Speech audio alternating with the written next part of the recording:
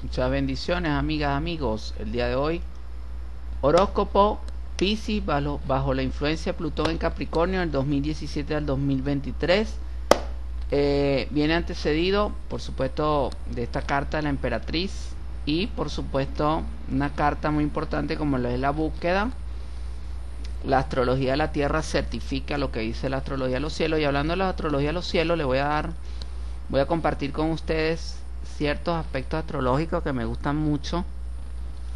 2019, esto ocurrirá en el 2019, Saturno conjunción Plutón, Plutón, así como el que se entierra a la orilla de la playa, tú buscarás momentos de alegría personal. Plutón en Capricornio, prepararse serenamente para enfrentar los retos laborales será una característica que asumirás con serenidad personal. Plutón en casa 12, un corazón brillando en luz, emergerá de ti para que puedas extender tu mano a todo aquello que así lo requiera. Hoy sí, les puedo decir, me siento muy feliz y me siento súper alegre, lo comparto con ustedes. Ahorita una hermosa dama me decía un comentario muy bonito en YouTube. Felicito a esta dama, me decía que todos los días escucha mi horóscopo, que lo que digo es verdad. La felicito porque es parte de mi familia en luz. Esta dama de nombre, nombre bien bonito, una dama con un nombre muy bonito, me dice, me dice eso en YouTube y bueno, me gusta mucho. Sé que le respondí que eres una dama que tú también.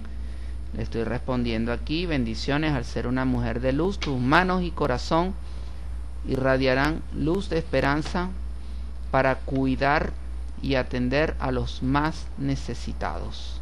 ¿Ok? A los más necesitados de ti. Gracias por ser parte de mi familia de luz.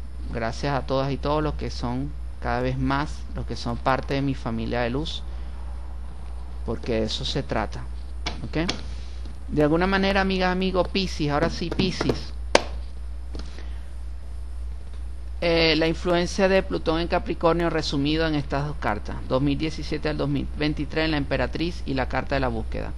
Piscis te habla la búsqueda, aun cuando llegues, lleguen los cuervos al camino que transitas y ese camino será para ti como un bosque resplandeciente en el cual te sientes verdaderamente cómodo. Ahora te habla la emperatriz. Los cuerpos serán apartados del camino. Esto te lo dice la emperatriz porque tú has sabido decidir, el camino adecuado. Te repito, Piscis, aun cuando lleguen los cuervos al camino que transitas, eso te lo dice la búsqueda, y ese camino será para ti como un bosque resplandeciente en el cual te sientes verdaderamente cómodo. Ahora te habla la emperatriz Piscis. Los cuervos serán apartados del camino porque tú has sabido decidir el camino adecuado. Excelente, Piscis. Ese fotoróscopo. Vamos ahora con el mensaje esperado. Mensaje Star Wars. El general Grievous. Cita textual de Wikipedia. el, general Grievous fue el supremo comandante militar de la Confederación de Sistemas independientes durante las guerras clon. Es un temible y poderoso cyborg que ha consagrado su vida a la destrucción de la República y al exterminio de los caballeros Jedi, guardando sus sables de luz como trofeos de guerra. Sí, señor. El 3 de basto nos habla de él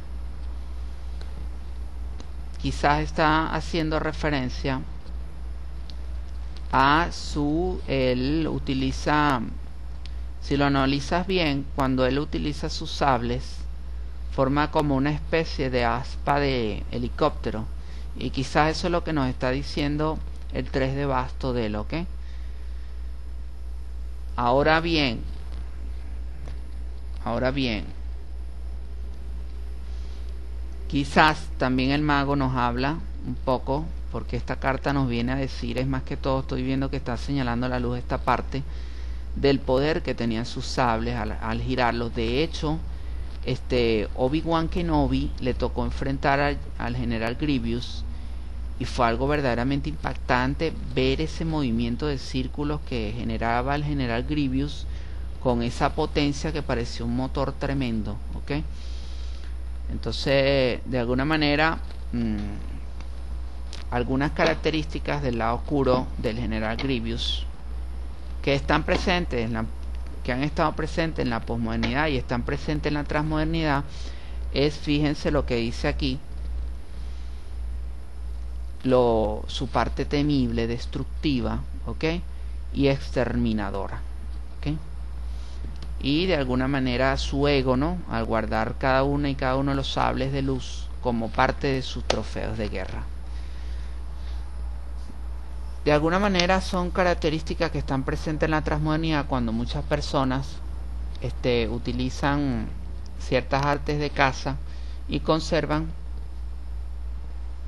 los animales como trofeo. Creo que es algo que se debe superar ya cuando lleguemos en la época de la biomodernidad, respetar a los animales porque son parte del ecosistema al cual nosotros pertenecemos. Si nosotros pertenecemos a la naturaleza y esos animales son parte de la naturaleza y son parte del ecosistema y nosotros pertenecemos a ese ecosistema, de cierta forma ya no estamos desde este punto de vista tan arriba en la pirámide evolutiva de las especies. Quizás ya nos estamos acercando a un grado de mayor igualdad. Ojo con eso. Lo cual nos debe hacer esta reflexión lógica, nos debe invitar a un mayor respeto por la naturaleza, a comenzar ya a crear esos escenarios que yo les he marcado, les he dicho 80-20, 80%, naturaleza, 20% de desarrollo de territorio, para que sembremos el mensaje subconsciente en las actuales generaciones y en las futuras generaciones, amigas, amigos, de que lo importante es la naturaleza, más allá, eh, porque de cualquier cosa, más allá de cualquier trofeo, de cualquier celular, de cualquier computadora. ¿Por qué? Porque la naturaleza es nuestro sustrato. Si te, estamos en la relación 80-20, es decir, tres veces más, cuatro veces más naturaleza que desarrollo poblacional, desarrollo de territorio de civilización, estaremos garantizando el alimento, estaremos garantizando la nutrición de las futuras generaciones. ¿Cómo vamos a hacer para organizarnos? Es allí donde tienen que intervenir va a intervenir seguramente en la biomodernidad la neurociencia con la robótica al unirse lo que se denominaría este esa biomodernidad, esa inteligencia y se va a crear una nueva forma de inteligencia, seguramente con el apoyo de la inteligencia artificial para ayudarnos a planificar mejor en función de mantener 80% de naturaleza, 20% de civilización.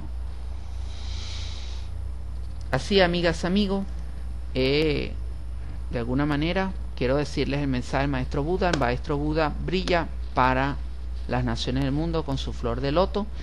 Y también la Madre Celestial viene hoy a levantarnos con su mano bendecida a los cielos. Recuerden, amigas, amigos, este fue el horóscopo de Enrique. Hoy muy felices, muy alegres de corazón, brillando en luz.